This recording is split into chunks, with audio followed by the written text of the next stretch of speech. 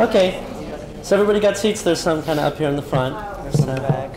Some in the back. Okay, we'll be fine. Great. Um, before we begin, we got a couple of announcements here. We have the sign-up sheet for caucuses has been going well, and uh, what do we have over here? Let me see. We're going to have uh, in room 234. This will all be posted out there, so you'll be able to like peek at this when you come back. Uh, 234. There's going to be one on bisexuality. There's going to be in two, room 236 one on advisors and educators, um, and that's specifically designed for the advisors and educators. Uh, then room 244 and 46, it'll be people of color, i.e. African American, Asian Pacific Islander, Latino Hispanic, Native American, or Mideastern. Told that I can't read. Okay, good. Room 234 is going to be uh, more of an issue-oriented one on domestic partnership issues. That's, uh, I think, more primarily oriented towards like college campuses and getting domestic partnership legislation. Um, let me see. Then we're going to be one in the gallery on allies, and uh, for the one in the gold room is going to be other gay, lesbian, bisexual issues. This is kind of like more of a general discussion on things, and then we still have one empty. So is there anybody right now that wants to? Go ahead. the weather? No. What's that? Snow. Just think of it that way. What's up? Is- In the past month, uh, the University of Minnesota president has approved the creation of a gay lesbian studies program, an administrative office for gay lesbian bi concerns, domestic partnerships, mandatory training for faculty and staff, plus updating all brochures for inclusive language. So we can talk about how we got that all done in about a month. So.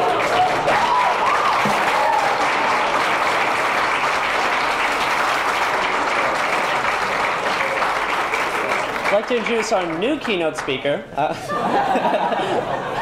Just primarily a workshop on how to move ahead on your college campus with uh, political issues. cool. That will be, oh boy. Well, I have the feeling we'll be switching that one with one of the other slightly bigger rooms. So, uh, yeah, let's move the allies to room 238. And, no, I don't have one with me. And then we'll be doing how to win in the gallery. So, okay, you can set that down. Okay, um, otherwise, let me see, are there any other announcements for the moment? Okay, then, uh, as y'all know, we've got a keynote speaker here by the name of Suzanne Denovan, and she's wonderful. Um, Suzanne Denovan uh, was the student body president and the chief officer of the Minnesota Student Association at the Twin Cities campus of the University of Minnesota. Um, as an out lesbian, Susan, Suzanne operated a campaign of co leadership and activism, promoting the concept that self determination, not mere survival, should be the ultimate political goal. Two months after her arrest during a campus demonstration, Suzanne won her office by more than double the votes of her opponent and double the margin of victory for any candidate within the pa- past four years. Um, Suzanne believes that it's living in living our lives honestly and openly. We claim the sphere of intimacy as a political space. From this space, we must realize our connection with other beings and events. Taking this responsibility means acting for social and ecological justice. She has spoken at various campuses across the Midwest, given a plenary, plenary address at the National Organization for Women's Young Feminist Conference in Ohio, and she's presented workshops at various regional and national leadership conferences. Currently, Suzanne is employed at a major corporation headquartered in the Twin Cities. She's participating in Formula Council for Queers in the workplace, and in the next year, she's aiming to secure a research internship and fieldwork in the area of sustainable and sustainable development and agriculture. But in the meantime, she's just an awesome person. So, Suzanne, everybody, let's give her a big hand.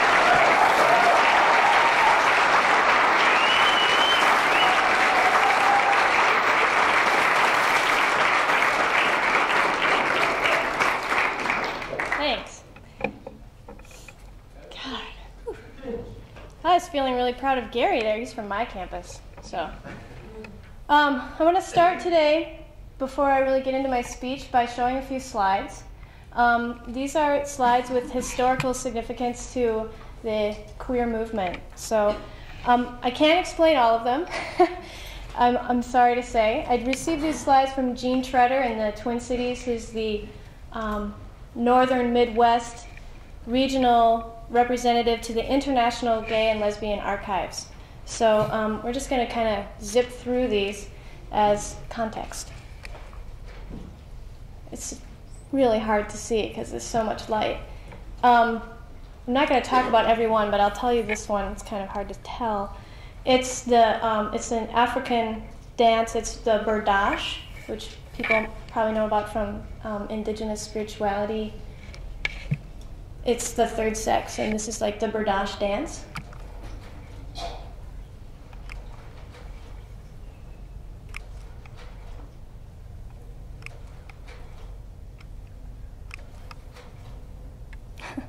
well, no, headless woman, what a surprise.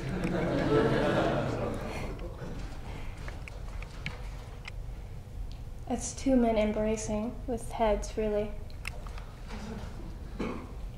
This is um, a poster from 13th century Norwich, Norway, um, and it's the burning of a sodomite in 13th century Norway. That needs no explanation.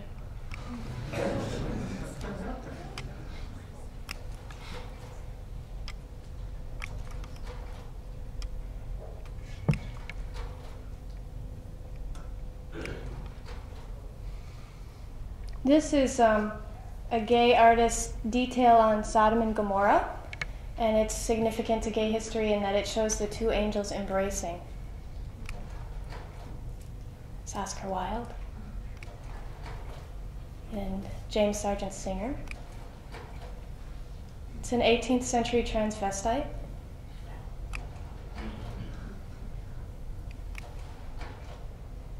Two men in Paris. So it's a newspaper in uh, New York City. Third sex plague spreads anew. Pansies blow U.S.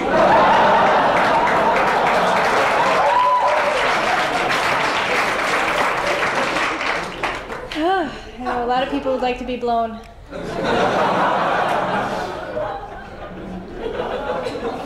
Yanks hop abroad.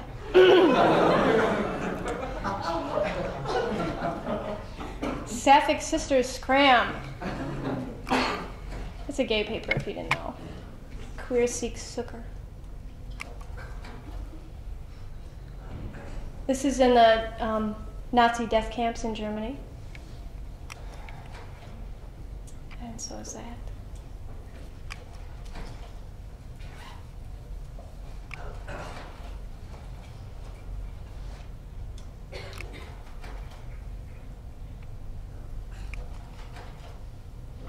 This is one of the first photos after Stonewall that like was considered out an activist or whatever. A Japanese lesbian magazine.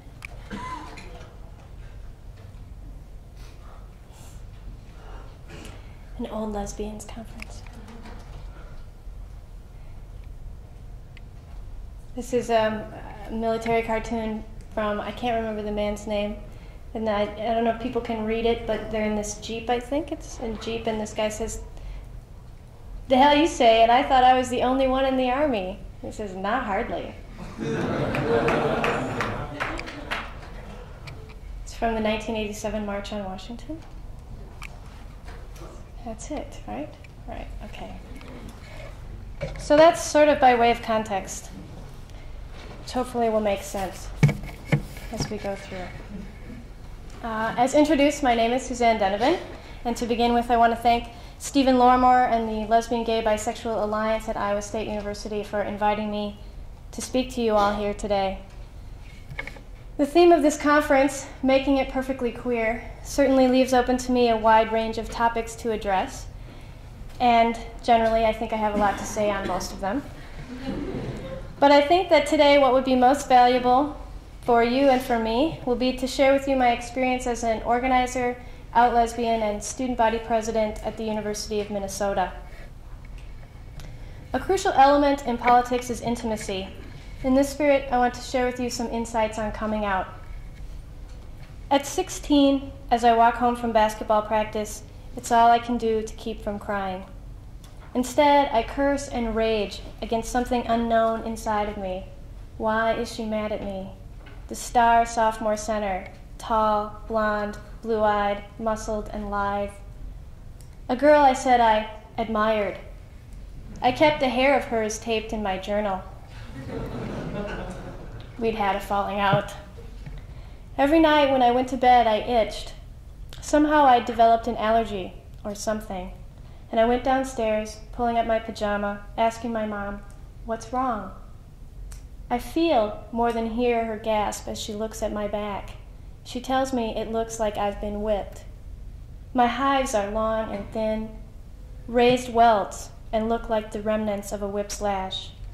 My mom rubs some lotion on them and sends me back to bed. I'm confused. It continues this way for weeks, even for years afterward. Every time I feel frustration or anger, it happens. My skin raises.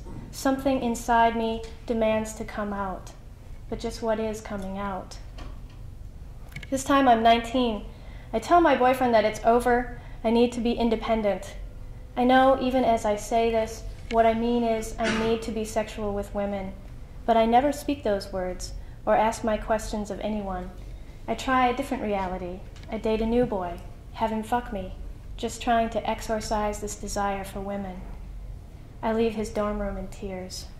I seek meaning for my confusion, my feelings. I seek an identity. I'm afraid I will lose my family, my friends, my home. I find a reflection for myself in the political community and in the bar scene. I make peace with my lesbian identity. Along the way, I lose some friends, and I miss my family. I want to share my joy with my mom, but how do I tell her? At age 21, over a beer for me and an OJ for her in a jazz club with the female vocalist singing the blues, I tell my mom I don't date boys. She says she knows. She has known since I was five. And as she cries, I wonder just what in me has been coming out. At the moment I decided to risk what I had known about myself and my home by telling the truth about my lesbian identity, I couldn't have imagined putting into words what made this risk worthwhile. Today, I know it is the possibility of a real connection of the joy I feel when I tell the truth about myself and it is received as truth. There is a chance that people will shut down connection. So many of my friends have lost their families to the truth. It is so difficult for us to relate to one another from an authenticity that has nothing to do with the stereotypes and categories we have been ingrained with since we were children. These categories that rule our intimate lives operate to control us and keep us isolated from one another. When we throw off the very real ties that bind, we are opening the door to a myriad of possibility that has been closed. Why do we, as queer people, describe these limitations on the way to relate, on the way to love, as oppression? So many times we have heard people say, I don't care what you do in private, just don't flaunt it. How does compliance with this request keep these people safe? How is coming out a political act. The ruling class needs to control the intimate sphere. As Kay Leigh Hagan, lesbian feminist theorist, says, intimacy is a prerequisite for access to the subordinate, which the dominator must have to maintain and exert control. Intimacy can be invasion, incest, brainwashing, torture. Violence can be very intimate. The intimate sphere is also the context and precondition for connection. Connection can reveal the illusions that sustain domination. And so they silence our words, our art, ignore our families and our lives. The people who have come before us have given us many tools in this battle to create a self affirming language, and I honor them. And the time now, our time, is to continue on in claiming our most complete selves, our fullest humanity. We must be warriors who are ready to define a new road of living and a new political movement. When I have come, to queer, come together with queer people and talked about the messages of shame I received about same sex love, there is connection. In this space, a real physical location, like this room in the Union, we challenge domination. And this opening, this outing, threatens to throw everything in the status quo into upheaval. How can people like Anne Imelda Radice, while holding the position of chair of the National Endowment for the Arts, censor homoerotic art and be a lesbian? Because she is closeted. She hasn't taken the steps to smash the bindings of shame. She is isolated in her closet and cannot feel her connection to me as another lesbian, nor to queer art as necessary for our thriving. To connect requires responsibility. Identifying as queer means we must look out for one another, and I believe we should mean everyone who claims the word queer gay, lesbian, bisexual, transgender, hustler, celibate, etc. Claiming this connection and taking this responsibility, we must work for the liberation from these confines that are now used to control us as queers, as women, as people of different races, different ethnicities, and classes. Our movement must cross these categories as well. We cannot stop comfortably connected on queer. Claiming my connection in this intimate sphere means that now I am urged to struggle for the issues that affect my community. It is difficult to put into words how I feel this connection. Whenever I see the face of injustice, it registers in my body. I can no longer believe in all of the bigotry I have been taught. In this connection, I can't see why interracial marriages are supposedly bad. I can't see why whites should live in one neighborhood and blacks, Hispanics, Arabs, Jews, etc., should live in another neighborhood, usually of a lower property value. I don't see why it is okay for us to keep building nuclear reactors as we fill our landfills in our consuming energy appetites. I don't see why we export our industries, our toxic industries, to the third world. And I don't see the justification for paying Chinese workers 57 cents an hour in a sweatshop. These issues are in my space, in my body, as a queer person connecting with other queer people. And so we must speak. We must use our voices, our languages, to battle the voids of silence and invisibility. We must say it whenever and however we can. I speak, therefore I am. This affirms our right and our fight to live. We are a threat. We are coming out to change the world. And when we are finished, we will have created a space where we can each determine for ourselves our names, and we will speak them proudly. This time, our time, is also a time when we are rabidly hounded, when our civil rights are denied in Colorado, challenged in state legislatures and in the Supreme Court. It is a time when we must face the willful ignorance of mainstream society as thousands of us die from AIDS, gay bashers, and suicide. This incredible ignorance, this silence, continues to reinforce the closets of those who would come out as queers or to support queers.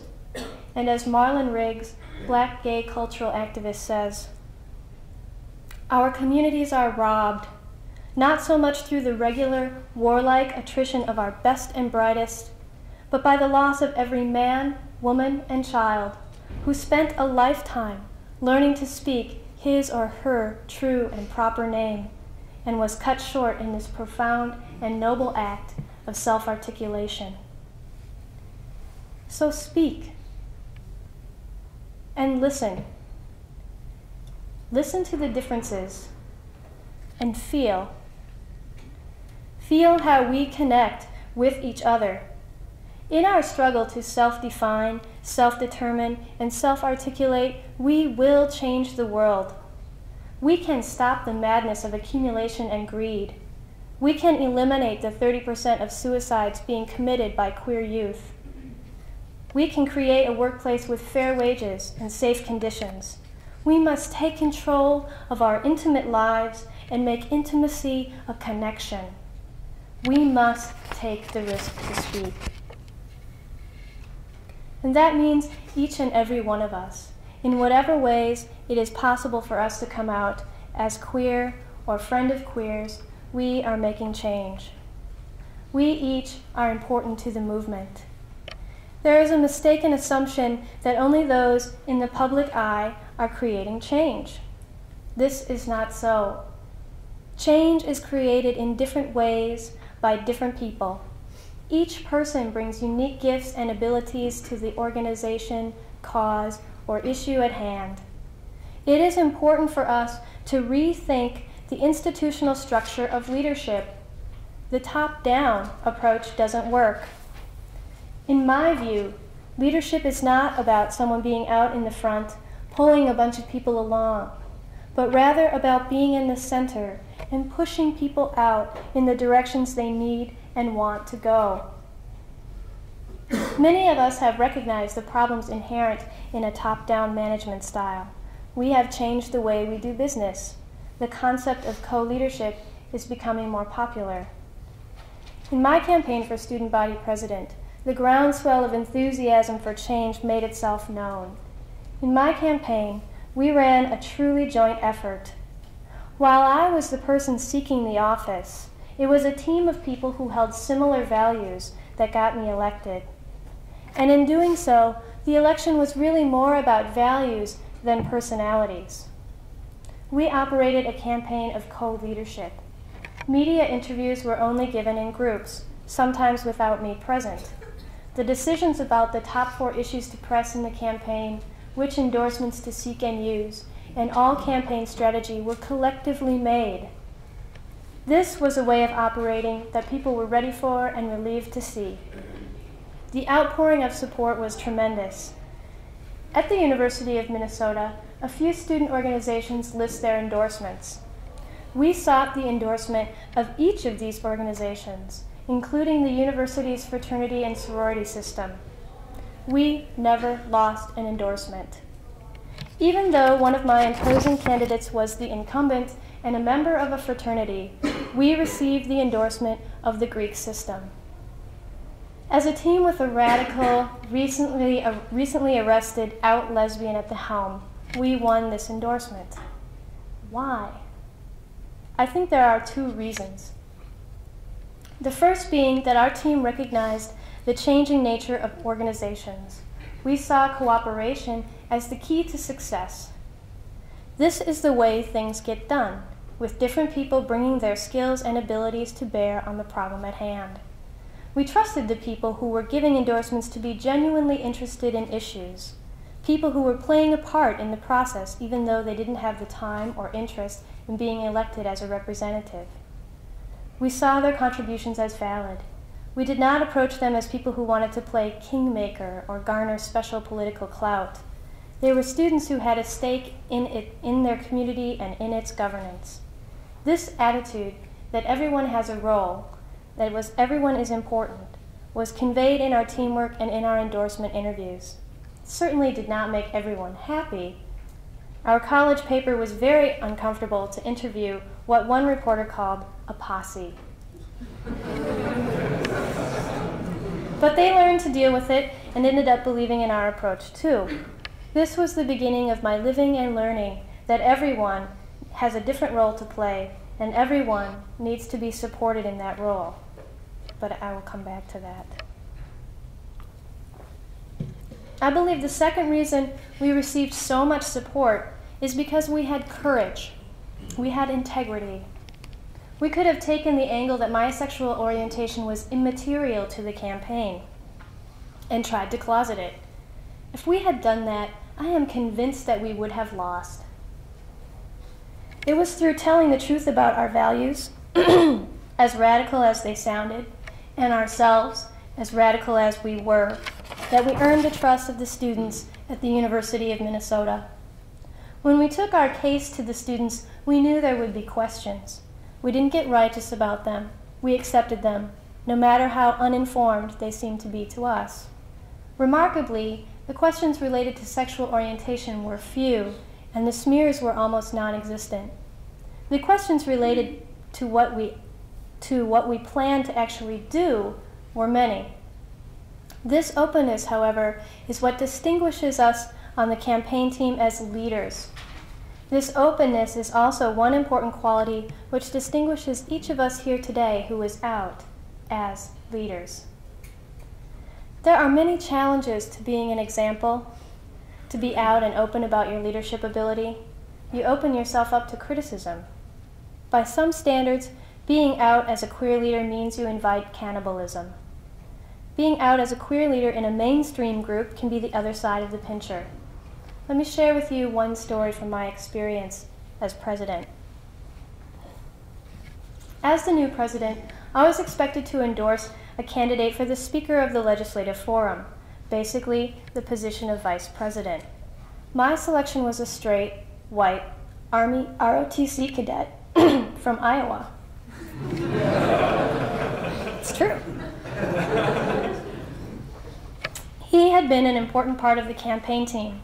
He supported the sanctions on ROTC until ROTC would comply with the university's equal opportunity policy protecting against discrimination on the basis of sexual orientation. The gay men's organization on campus was upset because I hadn't endorsed a candidate from their organization. I didn't have as good or as close a working relationship with this gay candidate. My integrity meant that I had to choose the person I thought I could work best with, and that was the choice I made straight, white, male, and army. But it meant that I was subjected to questioning. I'm sure you all know the questions I'm talking about. The questions about whether or not you are truly a subversive. The doubts about whether or not you are radical enough. And honey, if you are living with courage and integrity, you are more than radical enough. And to bring home again the point that everyone is important, everyone has a different role to play. It is important that the straight people who support us are recognized as revolutionary too. In my story, the man who I endorsed risked his commission and scholarship to speak against ROTC policy. Why did he do this? Because through intimacy with queer people, for the first time in his life, intimacy with queer people, he became connected to the struggle and had to play his part. These actions of alliance must be rewarded and supported. But the danger is having the place you thought was your home seemingly evaporate, an experience strikingly similar to coming out for the first time as queer. This is a frightening prospect. When the folks you thought would support you start to talk against you, it becomes difficult to stay focused on your integrity and truth. I see this so often that our movement victimizes the people who would rise to be examples for us. We start to question their motives, wonder if they have too much ego invested in their jobs. The gossip starts. A snide comment here, um, a whisper there, and a landslide begins. Some people will not participate in this gossip, but a few determined people can bring anybody down. The meetings are secret, not in the open. The target is rarely asked to defend themselves. The talk can range. They're not out enough. They're too assimilationist. They're not radical enough. They're too radical. But where is the integrity? Where is the courage in such challenges of our leaders? It seems that those challenges probably have their source in something other than the collective good. From my view, it appears to be the result of insecurity. Sometimes our involvement in politics becomes a way that we get self esteem. When that is threatened somehow, we target another in our fear. It is important to check our motives. Are they really about the collective good? The way I will know when my questions are sincerely motivated is when I know I can be open and honest about them. I will approach the person I have a criticism of rather than discuss it with everyone else. I think a part of the problem is also the success of the gay lesbian civil rights movement. As the numbers of people aligned with the movement increase, so do the different kinds of talents and ideologies. It is expecting too much of our leaders to be able to reflect back all of the ideologies of the queer community. A leader like Urvashi Vaid, formerly of the National Gay and Lesbian Task Force, was criticized for not advancing, to the same degree, every path to queer liberation. Our movement is big enough to support many organizations with different paths on the same goal. We need to choose the timing and direction of our actions. We must examine the, the integrity of our criticisms before we shoot down the first available target. The next time you feel frustrated with someone who has taken on the mantle of leadership, remember every one of us is a leader. As long as we are out setting examples, We are being leaders. In the animal medicine of some Native Americans, the mountain lion is leadership medicine. The words of wisdom about this medicine clearly state the meaning of leadership. The medicine says, Therefore, the first responsibility of leadership is to tell the truth, know it, and live it, and your example will filter down to the tiniest cubs in the pride. Responsibility is no more than the ability to respond to any situation. This is the leadership we can and do exercise. You will be tested. It is difficult. During the times when I felt like I had no community left with queers, I had to remember that I was not alone. Even when it felt that the queers who were organized at the University of Minnesota were not on my side, I knew that in standing up for my principles, I was not alone. Wonderful sources of inspiration have come to me in times of great need. Beyond the category of queer, which we have constructed for our political liberation, there are connections to be made with people that can be in your intimate truth space. And as much as we may wish that all gay people could connect with us there every time, there may be times when we are the only gay person there. Everyone is in a different place in their process. Just remember, you are not alone. As I said earlier, this was just the beginning of my learning and living the lesson that everyone is important. There is a Cherokee proverb that says, a drop of water alone may not seem like much, but together with many drops, it forms a river. A grain of sand may seem small, but with many grains of sand, you have made a mountain. I know as a speaking transition this is going to seem rough, but another key part of my living and learning that everyone is important and everyone has a role to play has been to remember the generations before me the parts that they have played have shaped the opportunities that we have today. I have often been frustrated by folks of a different generation who do not accept the term queer as a positive one. But I have never been in a one on one dialogue with someone who held this position. Why? The obvious reason is that we have been denied our history institutionally but we also have not taken, taken enough initiative to discover it. We are responsible for this, and believe me, I include myself in this.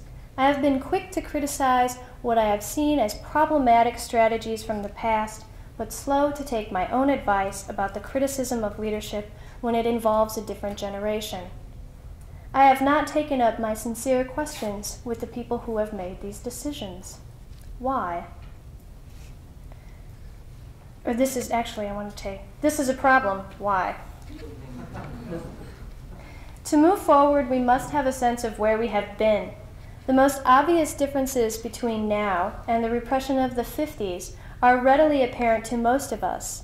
Yet, how many of us realize that the Victorian age was in many ways a more permissive society sexually and gender wise than it is today?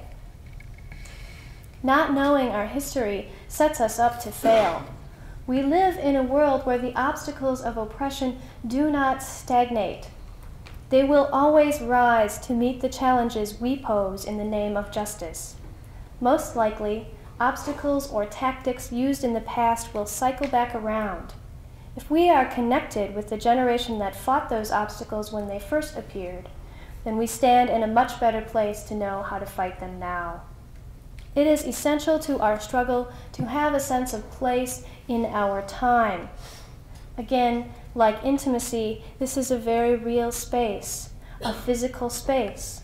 It can be occupied by the memories we carry in our bodies, the fiction we write, our news stories, the archives we assemble, the museums we build to celebrate gay culture, and the degrees students earn in gay studies.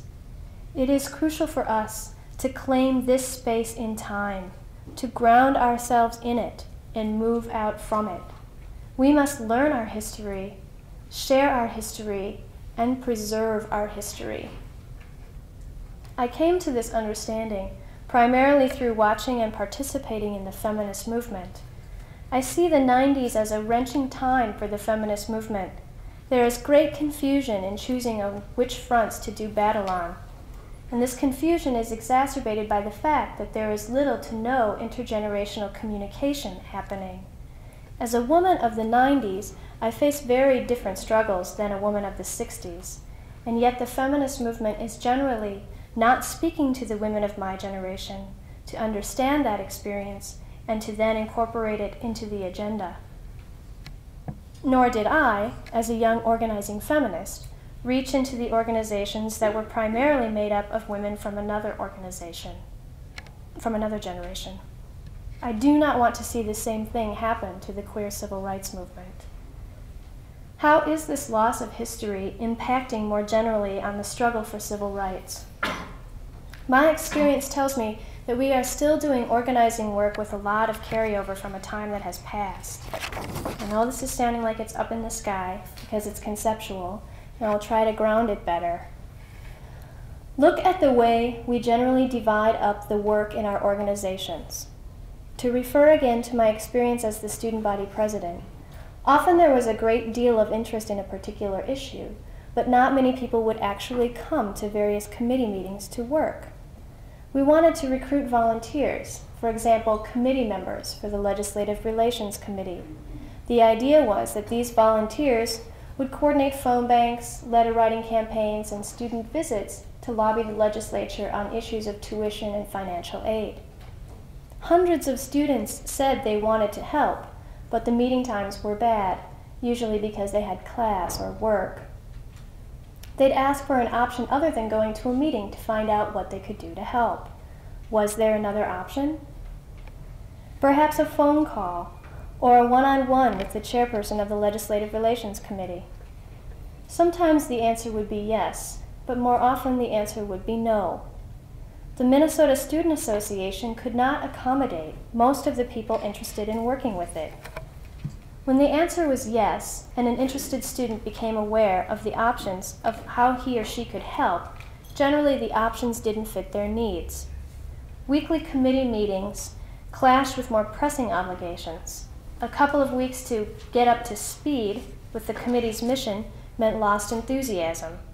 The transportation by bus to get home after 6 p.m. was dismal, so after school work was thwarted. And an organization set up to support the people who put in the big time and garner their share of the spotlight in the process, didn't know how to include the student with an off-campus job, child, and or the pressures of living in a racist, sexist, homophobic, ableist, nationalist, and classist culture. The organization is set up to best include white, economically secure U.S. citizens. Why? because it is based on the idea that people have leisure time to give to political action. Truly, how many of our organizations are based on the assumption that people have leisure time to give to political action? Only the most privileged students in today's society have leisure time to really get into the activist mode, given the way we organize the work today. As a queer movement, we must learn from these assumptions to create opportunities for participation at any level and from all segments of our community. This will move us into the 21st century ahead of the pack. If you believe, as I do, that everyone is important to the whole, that we are all leaders with a part to play, then it is imperative to start to reorganize the way we think about work, and especially volunteer work. How can the tasks and responsibilities in our organization be redesigned to face the realities of a new century? This is where I urge you to get really creative. We are not just talking about creating change, we are talking about creative change. I am really just beginning to seriously ground these ideas, and so I know that they will be formed more concretely by so many other people. But I do have a few suggestions that may help kickstart other ideas. My first suggestion is to design a system in which work can be taken home. We are still so office bound in our organizing. It will take a great deal of thinking to undo this, but it can be done. And once we get going in this direction, it will only be easier to expand. For example, if there is a budget for a portable computer, buy it. Figure out a way for people without office access to check this computer out and use it at home. I know it is expensive, but we really have to commit ourselves to making this reorganization of volunteer work a priority. Another suggestion is to make after school transportation safe and accessible. Don't rely on the possibility that someone will be able to give Jane a ride home after the committee meeting. Figure out guidelines or policies so that a way home is something that can be counted on. If your campus bus has service that essentially ends at 6 p.m., like the University of Minnesota, propose changes to that system, perhaps adding one later night run. Often, folks on campus will have 20 or 40 or more minutes that they can stop in your office between classes and do some work. If your organization is like the Minnesota Student Association, you have no way to use these people's spare time. Try assembling a task list with estimated completion times. This way, students can choose what they want to do, put in their time, check it off, and walk away feeling great about having done something that they believe in. Another thing that can be done with this kind of time is reading the background literature that documents your actions. This background is useful because it will really help facilitate an intergenerational dialogue. Your reasons for taking the actions you did will have a written record. When people read it, the time it takes to get up to speed will decrease dramatically. You'll also find it satisfying to look back on your accomplishments and helpful to avoid your mistakes. At the core of these strategies is the belief that everyone is important and has a role to play. It is crucial for us to make the shift, not just in our thinking, but also in our budgeting and in our working, to a co leadership focus with a grasp on today's economic reality. As I said, these suggestions are just the beginning of my thinking on the subject. There is much work to be done to further this line of thinking. I challenge those of you whose talents lie in system, in system thinking and conceptualizing to take up this path. And then you must talk about it with the people whose gift is turning the abstract to the concrete. And with those concrete strategies, the work will be taken over by the people who make things happen. Those who have communication and relationship skills must bridge the generations. And all throughout, our different gifts and perspectives will fine tune this new way of thinking and doing. It's 1993, seven years from a new millennia. Are we ready to lead in this new era? We will be when we look to ourselves, a new generation, intimately connected to past and future generations, and find the wisdom that lies in our own space and time. Taking this knowledge and creating a different language of movement, of problem solving, and a different way of doing our work will ensure success beyond the 21st century. It is exciting to see the people gathered here who are taking on the responsibility of leadership I challenge each of you to keep the next millennia and the past millennia in your minds and hearts. It is too easy to fall back into old ways of organizing. We must give each other support and hold each other accountable. I want us to spend a few minutes talking about this together, hear your ideas and your insights, but before opening it up, let me leave you with two blessings. First, from the Mountain Lion Medicine. Become mountain lion by refusing to hide in the cave of your own shyness or uncertainty. Roar with conviction, roar with power, and remember to roar with laughter to balance the medicine. And lastly, from my own origin, which is Celtic, more specifically Irish, may the Mother bless you and keep you. May she make her face shine upon you. May the wind be always at your back. May the road rise to meet your feet. Thank you.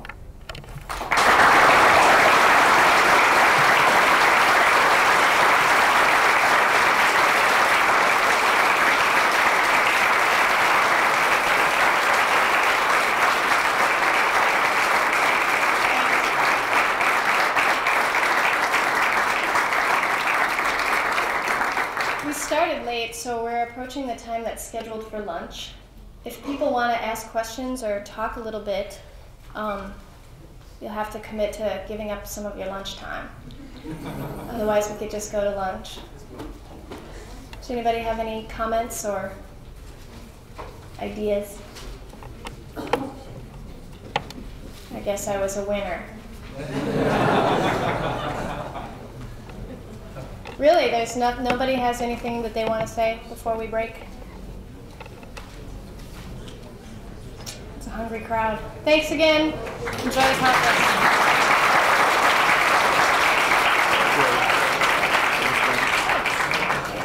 Um, just to inform you, for those who are not from Iowa State, uh, there is a Commons downstairs. It is cafeteria food. Um, eat at your own risk. Um, also, there is Campus Town. It's uh, a nice little walk.